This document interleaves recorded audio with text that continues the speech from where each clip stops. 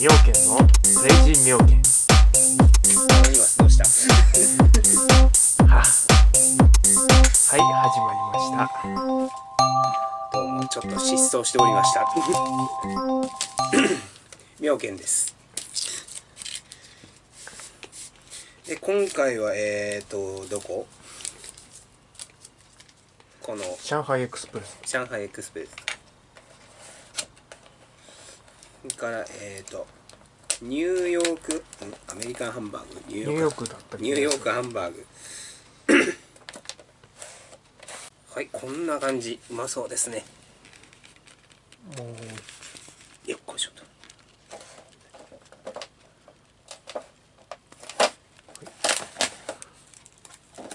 はいどうぞ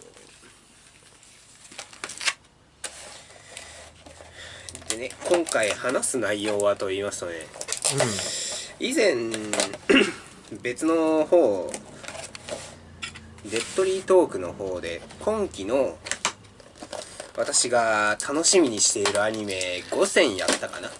高専話したかもね。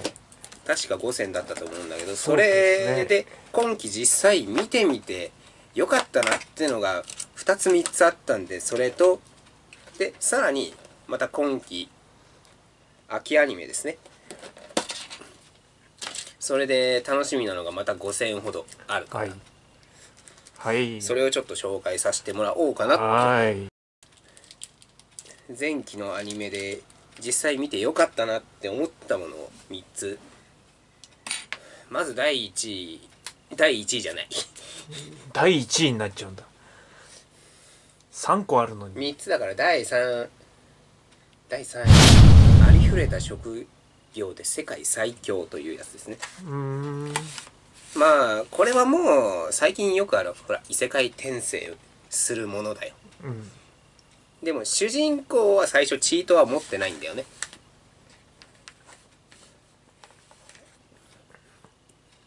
まあいろいろ事故あって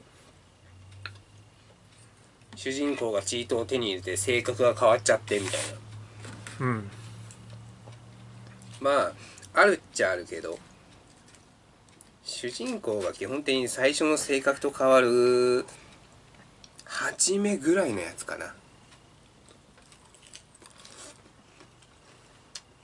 異世界転生して俺強えってのは性格は基本変わんなくて主人公のね。うん。身長だったら身長のまんま。ずーっとめっちゃ強いんだけどそのまんまいく。なるっほどね。ていうそういう感じだったんだけど今回のやつは性格が改変しちゃうっていう。ん。うもう仲間以外は知ったこっちゃねえって。いう感じになっちゃって。自分の仲間以外はもう信用しませんよ。そういう風に改変されていく。あとあとハーレムものだね、うんまあそれが、まあ、チートを手に入れて無双していきますっていうそういうおはチートを手に入れてその異世界の秘密を知って無双していきますっていうそういうお話。簡単に言うと。うん第2位はるカードの一方通行アクセラレーターね。もうとあるシリーズは有名だからそんな説明する必要もないだろうけど。えーととある魔術のインデックスの3巻だったかな？から登場しているアクセラレータっていう悪役がいるんだけどそれを主人公にしたお話。とあるシリーズはスピンオフがいっぱい出てるからね。そうだね。レールガンだってスピンオフだもんな。そうそう。インデックスが一応本編でレールガンあってレールガンがまずあってで今回アクセラレーターがアニメ化されましたよっていう。まあそのアクセラレーターが学園都市の第1位の人間だからもう最初から強いわけ出てきた当初から。で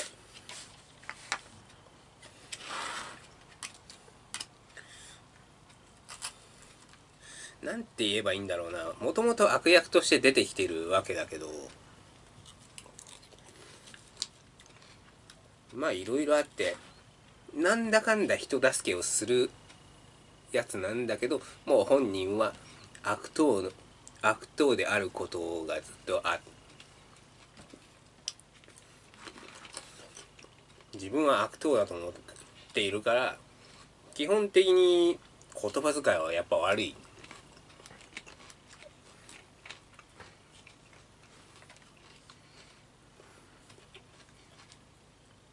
まあ本編の裏側にあった話だから多分ね本編と同じあれ夏休み中の話だと思うんだよね。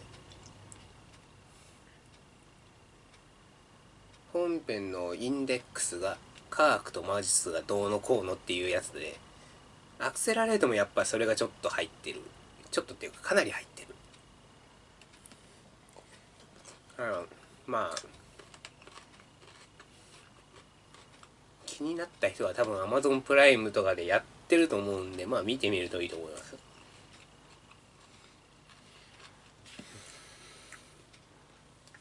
で私が今回一番良かったやつ。 Fate stay night のスピンオフのやつでえー、っと名前なんだ。名前なんだっけ。すみません今回全然カンペを用意してなかった・メロイ2世の事件簿。 Rail Zeppelin Grace note。これが一番良かったな俺の中では。 Fate stay night ってのは英霊を召喚過去の英雄とかそういう神様だとかそういうのを召喚して7人の魔術師が戦っていくっていう基本そういうお話なんだけど。これは Fate Zero からのスピンオフみたいな感じでそのロード・エル・メロイっていうのがあの Fate Zero に出てきたウェーバー・ベルベットがその0から10年後ぐらいだね。ロード・エルメロイ2世って名乗っていろんな事件を解決していきますっていうお話ね。だから戦闘っぽいのあるっちゃあるけど基本的には推理ものですでさっき言った通り魔術師がどうのこうのだから 基本的に動機があってなんか理由付けがあってっていう感じになってるんだよね。他の推理物と違って魔術ってやつが入るじゃない。そうだね。うん。だから下手するともう犯人は死んでてもいいしそこにいなくてもいいんだよ。なるほどね。魔術の儀式ができれば基本どこにいても誰かを殺せちゃうっていうそういうやつなの。だから 最初の最初の2つの事件なんて犯人が死んでるからね。鼻から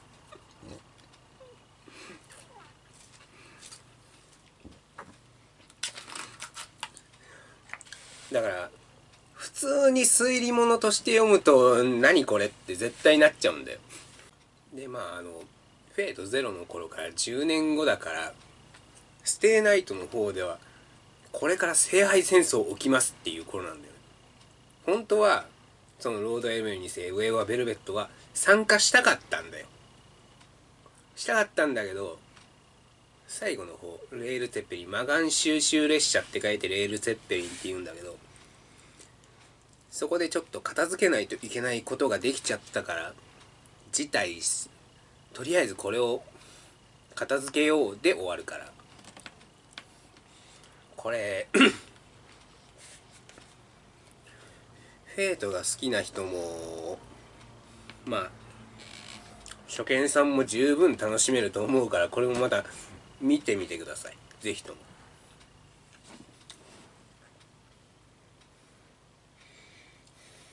それですね。今じゃあ次は今期から始まるアニメね。今期10月から。ほいほい。アニメで俺がやっぱ気になったのが5つほどあるから。5本ほどあるのね、それをちょっと紹介させてもらおうかなと思います。はい。じゃあまず一つ目。神田川ジェットガールズっていうのが今期始まるわけですけど制作会社は TNK まあちょっと調べる時間がなかったんだけどこのジェットガールズの世界ではどうやら水面でなんかマシンに乗って水鉄砲みたいなので打ち合うっていう競技があるみたいでそれのお話だね。簡単に言うと。そういう。でジェットガールズだからまあ出てくるのは女の子なんだよね。ちょっとあれを見てあ女の子たちだってちょっと思って。まあちょっといろんな目線で楽しみたいよって。そこはあんまり言わんとこうかな、なるほどね。で次。えっ、と今回3期目になるんだけどサイコパスですね。サイコパス3アノニマスはこれはさすがに知ってるかな？サイコパス。いや知らないね。あ知らない？ちゃんと見てないね。うんじゃあちょっと簡単に説明させてもらうと。サイコパスな人が出てくる違う違う。近未来の日本のお話でこの世界には犯罪係数って言われるものがあってうん、犯罪するしないかかわらず、うん。その数値でこいつは犯罪者そうじゃないって決められるやつがある、はいはいはい。決められるそういうシステムがあってうん。それによって警察も動いてる。ああそうなんだ。うん。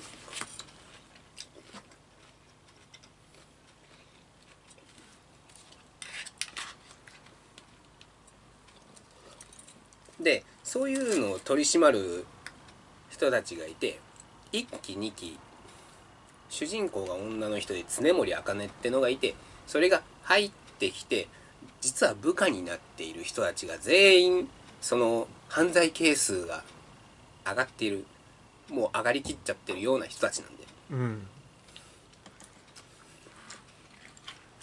この世界ぶっちゃけ恐ろしいよ本当に何もしてなくても犯罪者にされるから。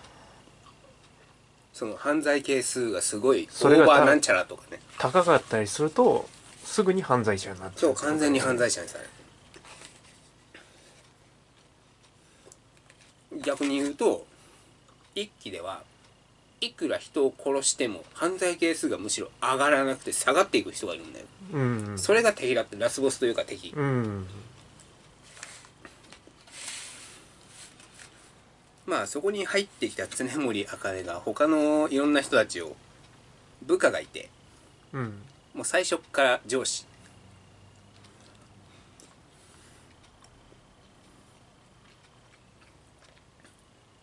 でその部下って言われる人で元警察官とかいろんな人がいるんだよ。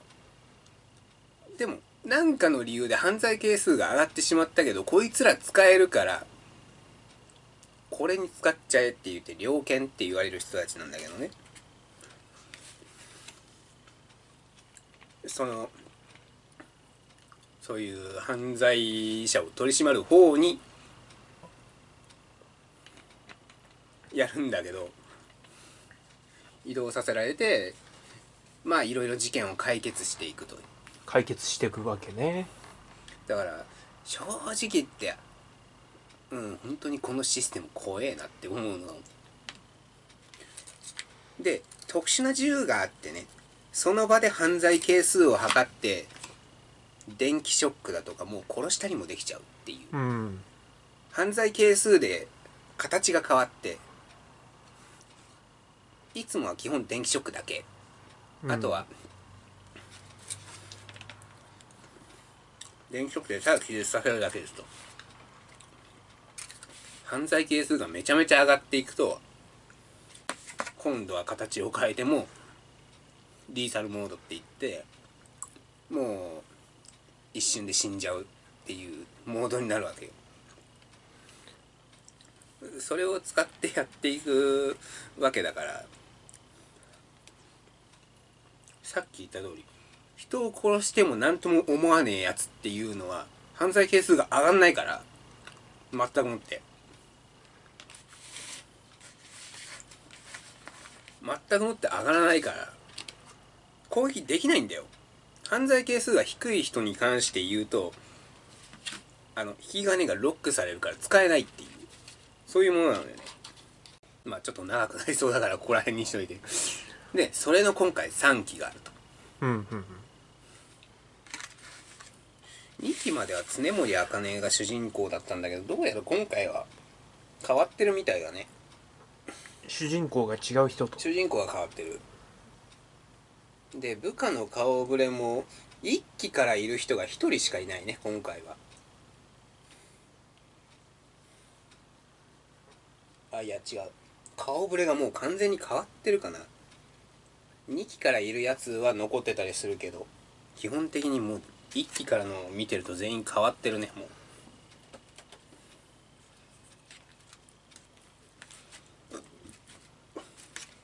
とまあこれが2つ目。じゃあ最後の一つは何でしょうか？いやまだあるまだある。えー、どうやったかな？あ5つあるんだもんね、これは本当に知らない人は知らないな。実は私も原作を2巻ぐらいまでしか読んでないものなんだけど。ただ内容としてはそれなりに面白かったやつ超人高校生は異世界でも余裕で生き抜くようですっていう。なるほどね。そういうやつなんだ、主人公は全員高校生。はい。ただ何かに対して基本的に一点突破ですごい超人なのよ。うん。武道が強いうん。剣道が強いとか、うん。理数系が強くていろんなものを作れる科学者的な人とか、うん。高校生なのに総理大臣をするぐらい政治力が高いとかうん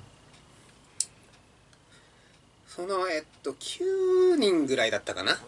確か。そこはちょっとうろうろ覚えなんであれなんですけど。それがやっぱまた異世界転生するわけですよ。異世界転生してファンタジーの世界に行ってみんな頭脳やらいろんなものを使って無双していくっていう。うん。も今回はこれに関して言うとあの俺強えというよりもともと強えってやつ、なるほどね、うん、この現代でも通用するほど強えわけだから。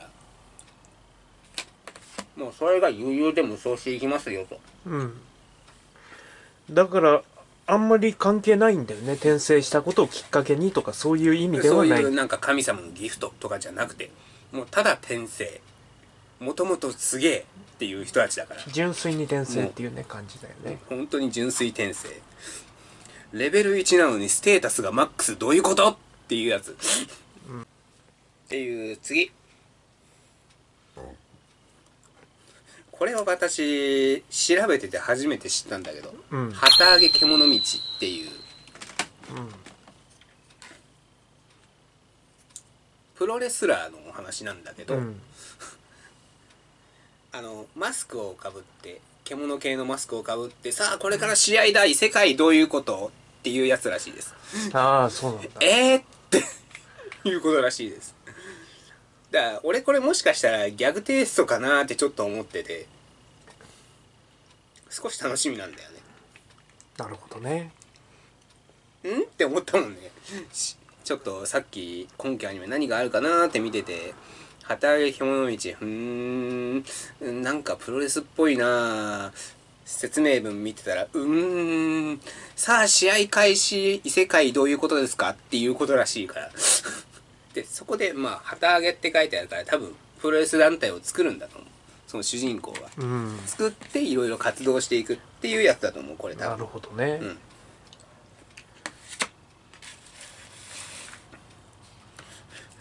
だから私も調べてて親ってもう思ってよ。完全に初見だったから全く知らないからちょっと楽しみだよね。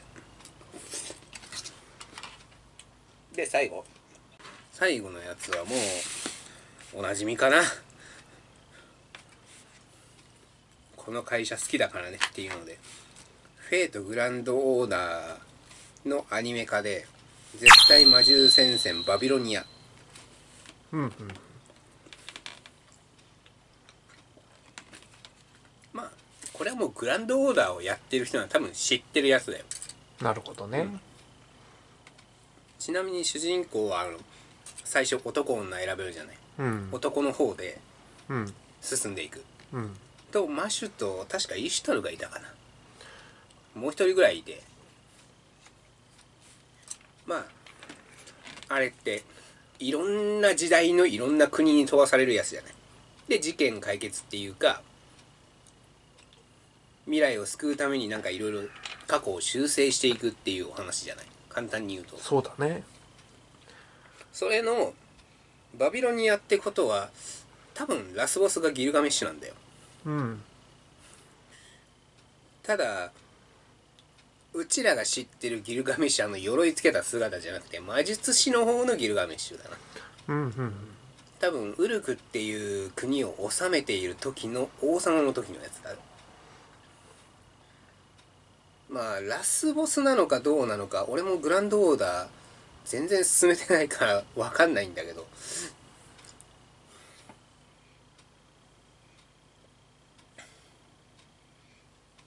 まあ今回の5個の中で特に なんだ？楽しみなやつだよね。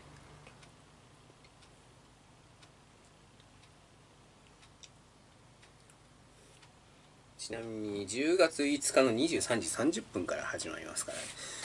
またこれも気になる人は見てきてください。ネット配信は次の日からあるみたい。ニコ生とかでもやってるみたいです。うもうすぐじゃないですか。もうすぐだよ本当に。なんかこの前テレビ見てて録画を見てたら録画っていうか番組表だそれの0話があったから一応撮っといたんだけどまだ見てないんだよね。ああそうなんだ。撮っといたけどまだ見てないんだよね。あとりあえずこれから見ようかな。って思ってる。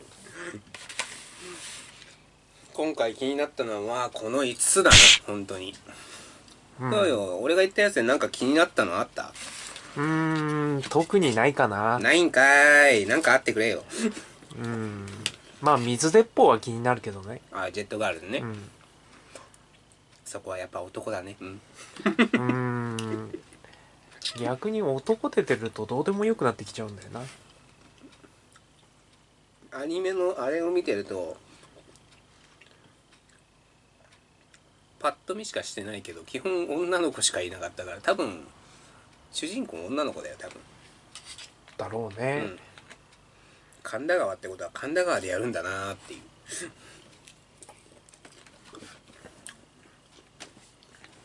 神田川でそんなことやったらめちゃめちゃ迷惑だけどね。そうだね。機械乗りながら水遊びですよ。すごいよね。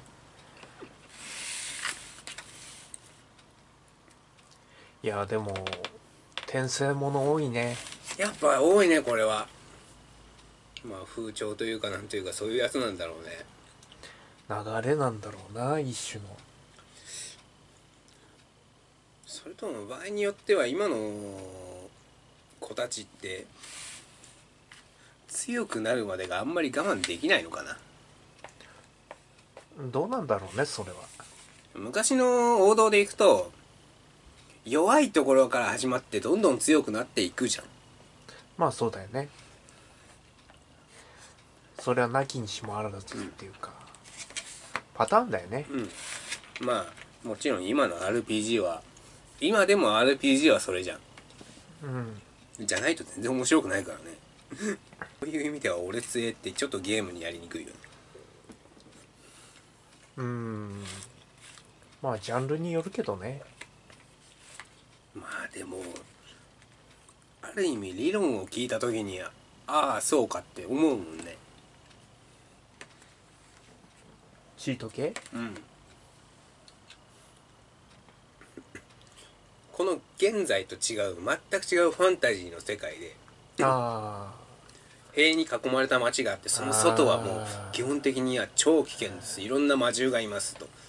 言うならね。いきなりサバンナに放り込まれたようなもんですって。私らがそのまんま。そ,、んな感じですっていう。ライオンが襲ってくるかもヒョウが襲ってくるかもみたいなところ。俺うちら的に言うと。あうんそういうところでいきなり何もなく飛ばされたらその場で死ぬよね普通。そうですね。大体ほらそういうのって必ずどっかよくわかんないところに飛ばされて魔獣に襲われました助けられましたがじゃない。まあそうっすよね。うん。確かにチート持ってたら助かるねって。それ聞いた時はなるほどって思ったもんこの「オレツエ」っていうか異世界転生もので最初多かったのは神様の手違いで死んじゃいました。神様がすいませんでした。次の世界ではギフトを授けますからどうか許してください。みたいな感じだった。神様が謝ってくるっていうね。すいません。間違えて殺しましたっていう。うん。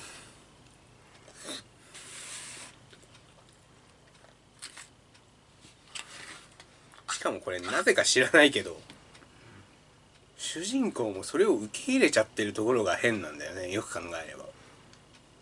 まあそうだね。え死んだの俺っていう普通そうじゃん。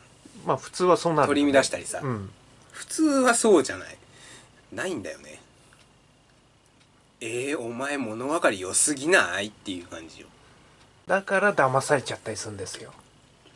だからさ最近あんまり見てないけど前それが流行りだした頃異世界転生のチートうん。が流行りだした頃ってうん。いろんなものを見てたんだよ俺。いろんなやつをね。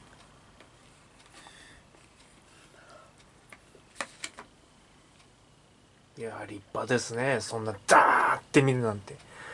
いや私には不可能ですよ。ろなものを見てるとこんなんどうですか？こんなんどうですか？みたいなのがちょこちょこあったりするし。ああなるほどねいろんなバーって羅列されてんのでなんかフレーズがあ面白そうっていうのを見てみたり。うん。そういうのあるからさとりあえずいろんなものを見てったんだよ。うん。その中で思ったこと。異世界転生のチートって難しい話が。は何が難しいって作るのが難しいこれ。どういうことかっていうと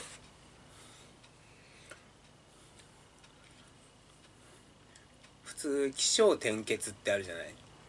まあね、まあもちろんあるんだけどそれにもねいきなり小か天から入ってるっていう感じなんだよ。だからただ異世界チートとウェイで作ってるとつまんなくなってくるんだよ。大体同じようなところに絶対行くから。もう異世界チート系で言うのは主人公が物分かりが良すぎたりいい人すぎたりってそれぐらいしか性格なかったりするんだよね。作り込まないとそんなに面白くないんだこれっていう。そういうとこに気づいてしまったと気づいちゃった。まあ気づかなくても途中で読むのをやめたりするんだろうけどね。うん。これが二次創作だったらこれでいいんだよまあそうだよね。二次創作だったらいいんだようん。それで、一次目のやつだから。ちょっとなーっていうところが多々出てくる。だからまあ今の俺の見方としては小説家になろうというサイトがあるでしょ？あるね。あれに週刊だったかな？えっ、と週刊ランキングだったか何だったかな？ってのがあるんだよ。週刊月間とかそういうランキングがあってうん。常に上位にいる3上位3部作ぐらいは大体面白いってのに気づいた。ちゃんと面白い。ああなるほどね。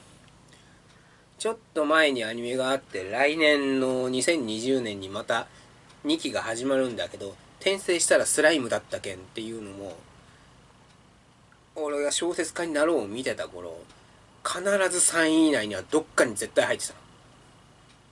3位。まあ3位じゃなくても10位以内には必ず入ってて開くたんびにそのランキングのところに絶対見るやつだった。で実際見てみたら面白かったんだよ本当に。これは。戦いもするけど基本的には街づくりの話だから。で主人公がスライム。前世はもうすぐ40歳に手が届きそうな童貞男っていう。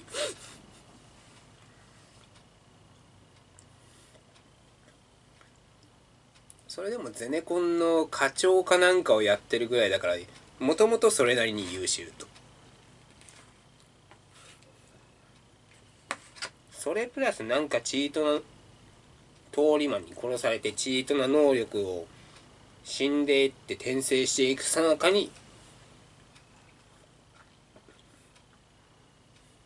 えっと手に入れてって無双は無双なんだけどこれちゃんとその人より強い人もいるんだよ。剣術でだけはこの人に習ってるとか。だからいろんなキャラクターがいて主人公だけドーンじゃなくて敵を瞬殺でもなくてちゃんとあるからちゃんとどのキャラクターもちゃんとキャラが立ってるし一人だけドーンっていかないところが多分これ面白いんだと思う。ちゃんとみんなでやっていこうぜウェーイみたいな。あとさっき今季面白かったやつの3選で言ったあれフた職業で世界最強。あれもやっぱりそういうやつだったんだよね。だから俺的に異世界転生とか俺強えとかチートとか そういうので面白そうなの探す時にはそういうランキングを見るといいわやっぱり。月間ランキングとかで本当に上位10ぐらいは俺面白いと思う。あとはその設定が気に入るかどうかね。そんな感じだと思うんだよね俺と聞いても聞いてもらったけどアノニマスどうよ？それでいいんじゃないかなとは思うけどね、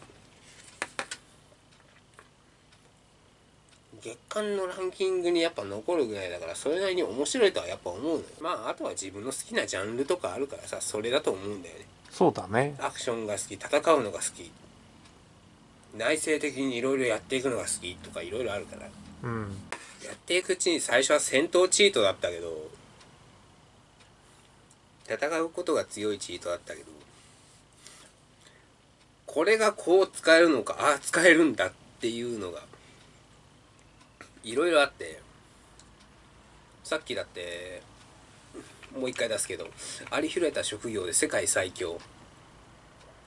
主人公の天職は錬成師っていういろんなものを作ったりするやつだからね。はっきり言って戦闘向きじゃないんだよ。戦闘向きじゃないけどああなるほどこういう風に使えるんだこれが。解釈変えればなるほどこうかって。だって錬成師っていう天職を生かして現代兵器を作ってもそうするからね。ステータスももちろん上がるけどさ。剣とファンタジー剣と魔法のファンタジーの世界だよ。銃持ち込んでるからね。銃とかバイクとか車を持ち込んでるからわけわかんないのよ。もちろんステータスもめっちゃいろいろあって強くなってるから素でも強いしっていう。でまあ これから異世界転生ものを見てこうかなっていう人たちはまあ俺が最初やったようにとりあえず手当たり次第見るのもいいしえっとなんだっけ。さっき言ったなんか小説家になろうでも何でもいいけどそういういろんなものがあるからそれのランキングを見ておっと 決めるのもありだと思うから。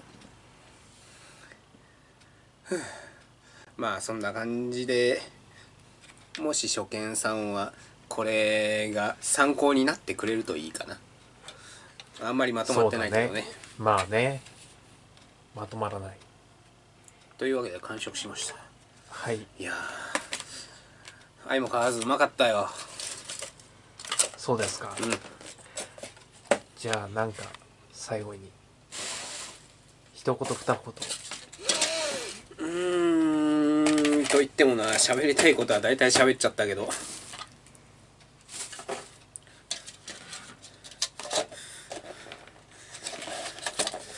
そうだねさっき言った異世界転生もの。これはあの初見さんだけじゃなく昔アニメとか漫画見てたんだけどえっ、と今ちょっと見なくなったなーっていうちょっと大人な30代後半やら、まあ、それ以上でもいいんですけどそういう人たちにも多分受け入れられると思うから見てみるのはいいと思います。以上です。アロンリマスと病犬の。クレイジー妙見でした